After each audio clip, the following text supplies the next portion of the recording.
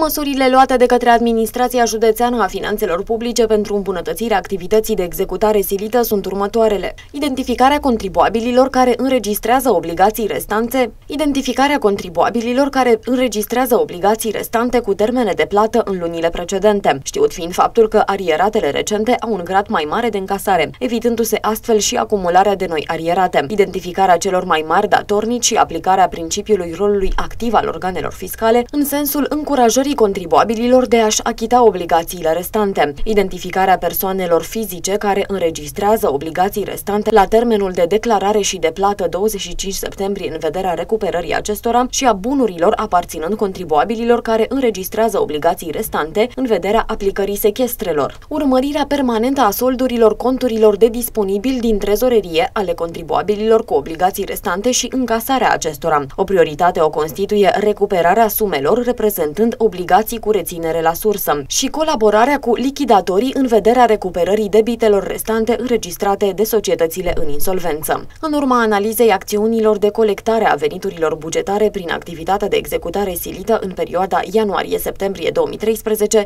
au rezultat următoarele. Au fost aplicate măsuri de executare silită potrivit prevederilor legale în vigoare, fiind transmise și confirmate aproximativ 19.000